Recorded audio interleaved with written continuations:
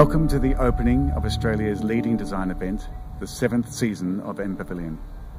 My name is Sam Redston, CEO of the Naomi Milgrom Foundation, the team behind the M Pavilion initiative. I acknowledge the traditional custodians of the land upon which we meet, create and connect across Greater Melbourne, the people of the Kulin Nation, and I pay my respects to their elders, past, present and emerging. And during this NAIDOC week in particular, I acknowledge that also that this land always was and always will be Aboriginal land. 2020 has brought its challenges, but here we are in the 2015 M Pavilion, now permanently placed in Docklands Park. And collectively with our partners and collaborators, we are proud to launch our five-month program of free events staged across Melbourne and shared online, accessible around the world. In a moment, Parabinata Carolyn Briggs will welcome us to country, and then the founder of M Pavilion, Naomi Milgrom, will share some thoughts about the season ahead before we then hear from our partners and collaborators with messages from across Melbourne and around the world. Then our first M Talk, BLAKitecture without engagement. Thank you for joining us on this, our online launch, and we look forward to sharing with you our program and connecting with you over the summer months ahead. Womanjika, Marambik Bik Bunarong, Namde Barupton Arthur Willem. Welcome to my beautiful home, the lands of the two great bays. My name is Nawi Dr. Carolyn Briggs, and I'm the senior elder and a proud descendant of the Yalukit Willam clan of the Bunwurrung of the Eastern Kulin Nations. It is my great pleasure to be able to welcome you all here this evening. But it is my responsibility to ensure you have come with a purpose. Womanjika, uh, come, ask to come, and what is your purpose for coming? These are the structures that lie behind just that very word. I do so not only on behalf of my ancestors, of the Eastern Kulin, I do so on behalf of all First Nations people on which lands we meet today. The First Nations people across this continent all share a common connection to the lands and waters of their ancestors that has not been ceded from the, from the millennia despite the dispossession, the displacement, the discrimination that we have all experienced over the last 200 years. These connections date back to our creation stories. For the Yalukit Willam, our creation stories tells us about Bunjil, our creator spirit, who travels as an eagle and by one who protects our waterway travels as a crow. They created the land and where we meet today. He also created the Kulin people and he taught them about the circular relationship that they have with these lands and waters in order for us to be taken care of by the land. We also had to take care of that land and waters in which we did through adhering to the Wurrungi Bik, the law of the land, our customary laws, much like the laws we live today. These laws dictated how we interacted with each other, how we interacted with the lands and waters, how we conduct ourselves while we are on other people's countries. The Wurrungi Bik speaks of three Pacific laws. The first law, Yalanj. It is a responsibility that we have for knowledge. Once knowledge is attained, we have the responsibility to ensure that survival, its continuation. We have the responsibility to our younger generations to maintain obtain that knowledge and pass it on. It is about it is about that for our future generations, what we say, Boy, which is our futures, our tomorrows. We also have the law of Jambana. This law speaks of community, the importance of community, the importance of diverse communities, but also about unified communities. The Yalukit Willam of the Eastern Kulin understood the power of diversity that is within our lands and how it increases our capabilities. It was always good to share our stories, our different experiences. However, they understood how to utilise this very powerful tool. They had to identify a common purpose. What are the things that we all have in common? Finally, the last law is a connection to country, or what we might call honouring sacred ground. Paying respects to the past generations, the people who took care of the land before us, and the people that have lived and died before we were here. Paying respects to the stories and histories on the land on which we live today. We are very fortunate in this amazing continent that we now know as Australia to have 80,000 years of human history and it is important to pay respect to that history, not only while we're at work or while we, when we're at home. If we adhere to these three Wurrungi Biks, I can say in the words of my ancestor, Wamanjika Marambik Bunarong Nermderp Barupton Ata Willam. Come with a purpose and celebrate our beautiful bays, Nerm, Port Phillip Bay and Merrin, Western Port Bay. So it is about what we offer you and it's that reciprocity about how we share a lot of things with each other. So it is about the common purpose.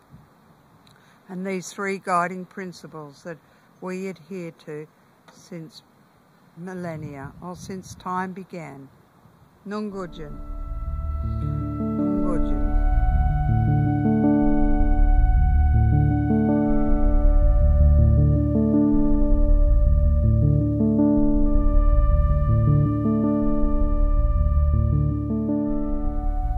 Thank you, Parbonata Carolyn Briggs, for your welcome to country and welcome everyone from across Australia, Victoria, or wherever you are in the world to this, the opening of M Pavilion 2020.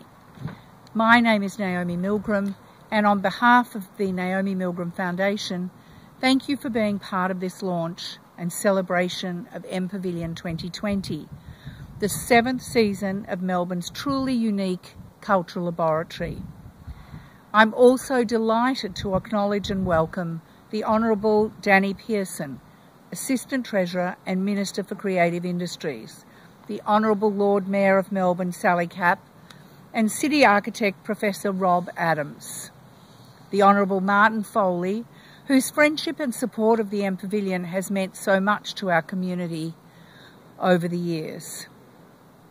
I also extend my great thanks to M Pavilion 2020's principal partners, Creative Victoria, the City of Melbourne and RACV.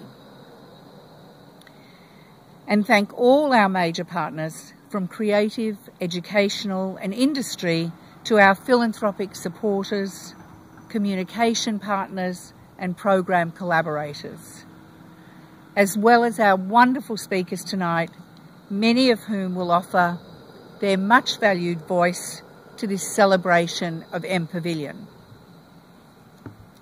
And finally, thank you and congratulations to the extraordinary team behind the MPavilion.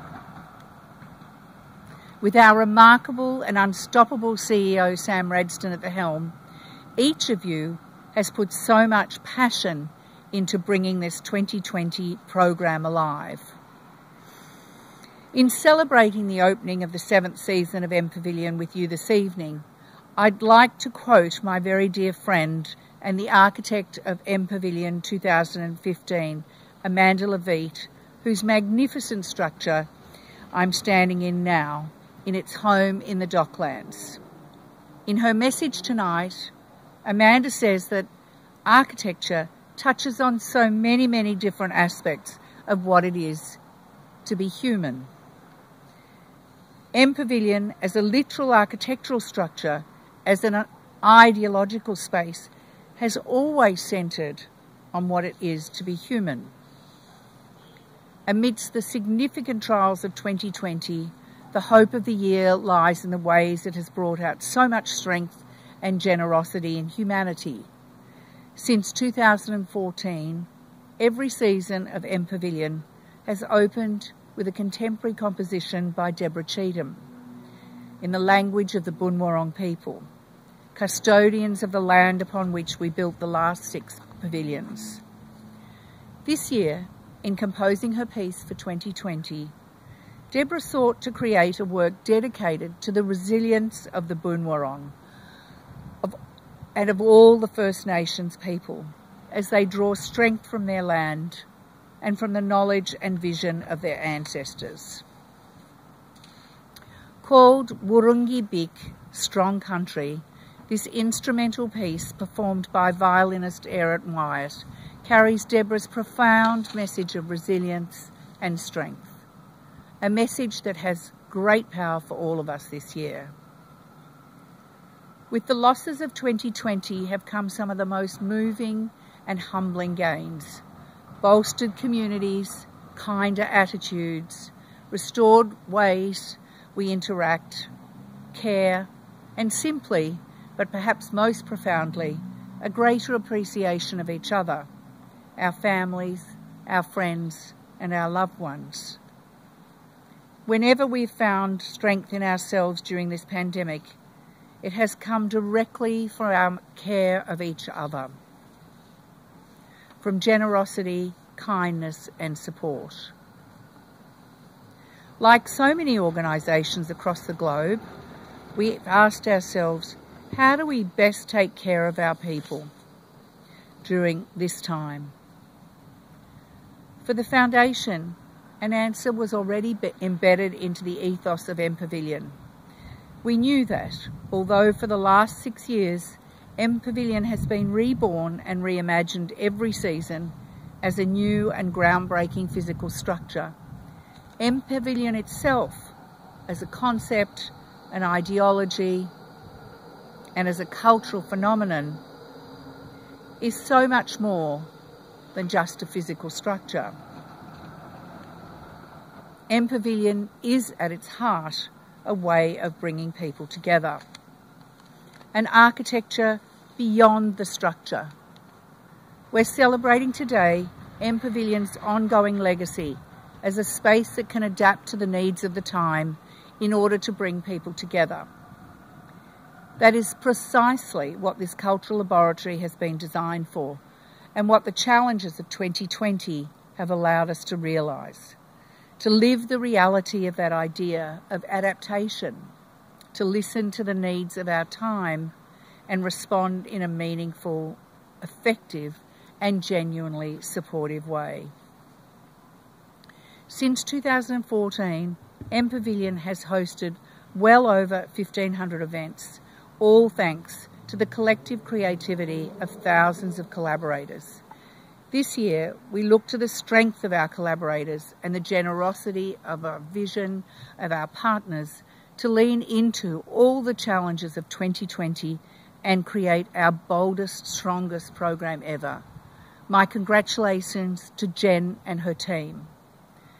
Over five months, we will stage in excess of 400 free talks, performances, workshops, and family activities, bringing energy and optimism to public spaces, showcasing the brilliance of our creative industries in a program featuring more than 500 designers, artists, musicians, architects and thinkers to an immeasurably wider local and global audience than ever before.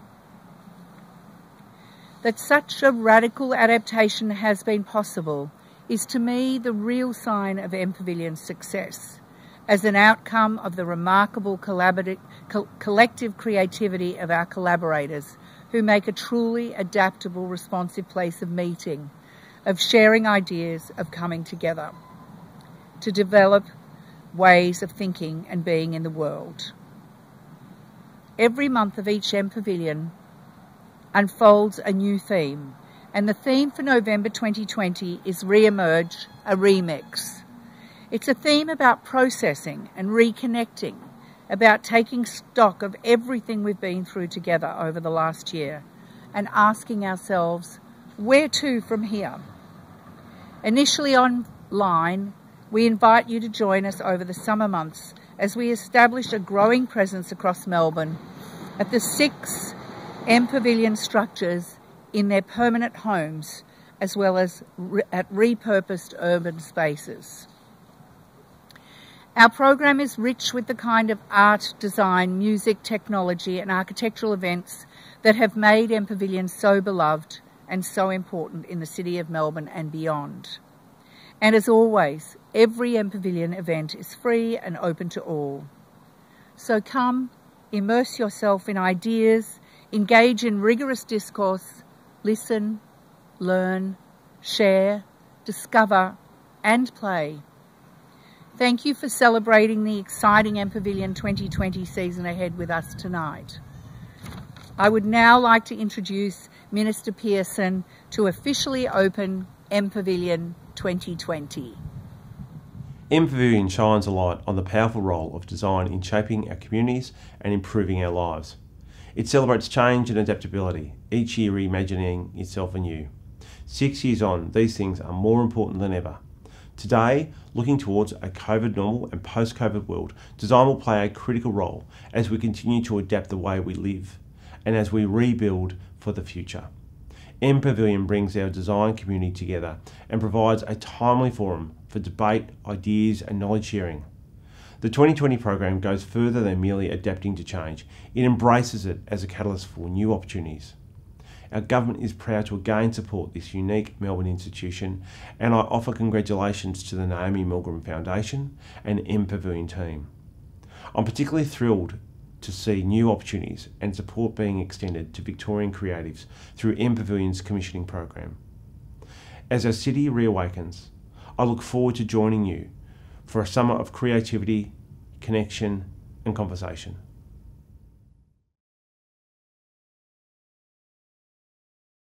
I wanted to just make a few reflections on the important role that the M Pavilion has played in Australia's emerging global conversation on the importance of design. Having had a role for six M Pavilion iterations, I think I've seen the conversation deepen and emerge in a really important way. Australia has become part of the global conversation on the importance that design plays in both sustaining and enhancing our cities. It's done so in a way that at the heart of it, the M Pavilion project has brought us into a global conversation. That has been really important over the past decade, but it is even more important now as we ponder what is the role of design in a COVID safe, COVID friendly new world of cities and designs. I want to thank the role that uh, the Naomi Milgrom Foundation has played together with corporate sponsors and to give out a shout to Creative Victoria for being such an important partner in the M Pavilion project. If the M Pavilion project was important pre COVID, its centrality in making sure we have a design conversation and a design thinking for a better future is even more important now than ever. So, can I thank everyone for their support of the M and I look forward to its continuing role into the future.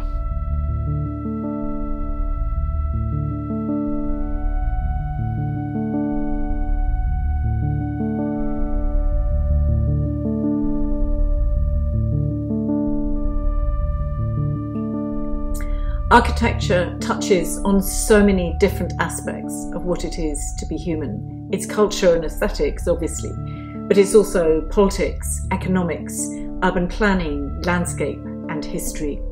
It's helping us find our place in the world with a future that is very uncertain. But it is so important not to lose confidence in what that future could be.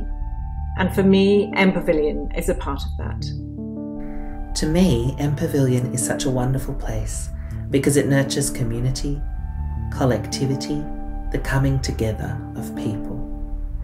M Pavilion to me utilises all that is best from the knowledge and expertise and wisdom of the architecture and design world and uses that knowledge to build exciting, innovative, and welcoming spaces where human beings can gather and flourish. M Pavilion is a wonderful gathering place where we can come together to celebrate our love of art, design, the built form, and of course, it's accessible to everyone. And M Pavilion, using the existing spaces, provides a shining light on those people that make Melbourne so special. M Pavilion provides this, this moment in time every year where you can almost feel the creative energy vibrating out of it for me personally, it also gives me this connection to the gardens and the civic spaces and, and, the, and the river and Birrarung over the summer period, um, which I just find to be so deeply satisfying. And I can't wait to get back there, um, not necessarily to the Queen Victoria Gardens this year, but back under the many incredible structures of M Pavilion around the city and and getting back in to to kind of claim our city and and start to feel that creative energy once again in the heart of Melbourne. I'm really looking forward to that.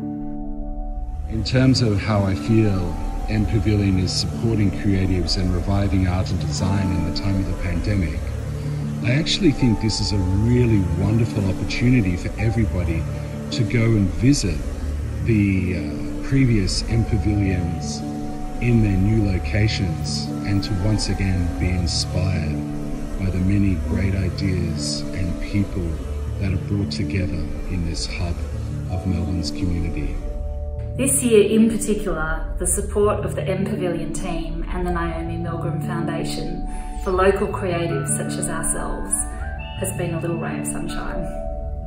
One of the major things that has come out of the Melbourne COVID lockdown through all these months has been the quietness of opportunities. But the invitation to design a stool for this year's event season has been such a delightful pick-me-up and we've felt very supported. Thank you, M Pavilion. M Pavilion is one of the great assets in Melbourne's cultural calendar, connecting creative thinking, diverse voices, and really visionary architecture. And these all contribute to a dialogue about connecting people and place. M Pavilion reminds us that gathering and placemaking are important features of our society. They're the things that stitch our society together. And M Pavilion really creates this platform for the exchange of ideas. I've been listening to M Pavilion's amazing collection of extraordinary interviews, discussions, conversations, interrogations that have taken place over many years. And it's been an incredible reminder of how important these types of cultural exchanges are within the life of our city when we have such an engaged community. Having followed M Pavilion since the very beginning, I've always been impressed by it, not just as a presentation of innovative architecture, but as an innovative presentation of architecture uh, through its very robust series of talks, workshops, performances, and other forms of programming. It's a way of reinforcing the idea that architecture is, of course, not just about uh, materials and, and, construction and form and fabrication, though those are important. Uh, but more importantly, perhaps, it's about the people, ideas, communities, and discussions that it brings together. That architecture is inseparable from what happens in and around it. These are questions that uh, all of us are sort of rethinking at the moment, and with its uh, robust and, and, and thoughtful uh, approach, uh, it's very exciting to see how M Pavilion is adapting and will continue to adapt. So, congrats uh, to a great run so far, and here's to much more to come. Thank you. To be in a place that um, has been framed by the experiment and the speculations of architects who've been welcomed to create this gift for Melbourne. And of course, this year will be a bit different. Uh, we're all rethinking uh, what gathering, what the public space uh, even means. But of course, that's what M Pavilion inspires for us every year to put ourselves um, in this place that, uh, you know, occupies a space in a garden that we pass by all the time, occupies a space in our imagination, um, but also allows us to occupy a space of ideas, a space of contest, and a space that broadens our horizons. A lot of uh, creative people have lost a lot this year. There's been a lot of things that have been cancelled. Um, you know, a lot of people haven't been able to make work entirely, which is really sad, but I think it really shows the resilience that um, many of us are still able to get up and try something new and um, different a different way of thinking and approach what we do with like a fresh perspective and I definitely think that MPavilion has done that and by providing this program for um, our locals and our, local creators to be a part of, it's heartwarming to see that they um, care about the community and they're willing to do what it takes to make sure things go ahead and that we can still make work and still enjoy the art that you know enriches our lives and that we all love. So thanks, MPavilion. Tanderrum is a ceremony enacted by the nations of the Kulin people and other Victorian Aboriginal nations, allowing safe passage and temporary access and the use of land and resources by foreign people. The parallels between the original custodians of this place and the philosophy of MPavilion are amazingly aligned. Tanderrum was more than a ceremony. It was a meeting of diverse peoples to discuss important issues of the day. This coming together and meeting is at the core of the Aboriginal culture and has been transported through tens of thousands of years to become the DNA of modern Melbourne. We love to come together in so many forms for eating, culture, public debate, and sport. We do this both in closed spaces and out in the open. MPavilion parallels this annual meeting and celebrates the coming together of creative and inquisitive people of great diversity in a temporary shelter, sheltered pavilion that touches the ground gently before moving on for another year. Well done, MPavilion, on yet another amazing program for 2020. RACV is incredibly excited to collaborate with M Pavilion, bringing people together in Melbourne, regional Victoria, and beyond. Since 2019, the partnership between M Pavilion and RACV has been a strong union of shared values around community, advocacy, creativity, and collaboration. We can't wait to reconnect with our community, hear what's important to them, and share some really exciting and new creative experiences along M Pavilion. Hello, I'm David Gianotten. I'm one of the 2017 M Pavilion architects. If you ask me what the Pavilion means to me, I can only say it's a place of friendship. A place where I made many new friends and where I had many interesting debates about the city and art. A place that has become very dear to me. MPavilion has become a place where the debate about the city and arts and culture in general can take place at all levels. The MPavilion program has been proven to be very versatile over the years. I can't wait to see what this year will bring. My name is Chelsea Hickman. I am the artist and fashion designer who designed and made the uniforms for MPavilion's 2020-2021 season. MPavilion have set an example in their sustainability consideration for this project that will surely inspire other organisations to consider their environmental impact when creating staff uniforms. I think MPavilion is innovative and fearless in their approach to knowledge sharing, and I think it's important for our city that MPavilion continues to facilitate conversations around complex issues and future focused ideas. For me, M Pavilion is much more than a physical pavilion or a piece of temporary architecture. It's a place to come together, to encounter and exchange creative ideas. M Pavilion gives us an important way to test and explore new ways of living together. It's a public commitment of which we can all celebrate, and it's never been more important than in the time of pandemic that we're currently in. So, congratulations, MPavilion, and I wish you all the very best for this year's program.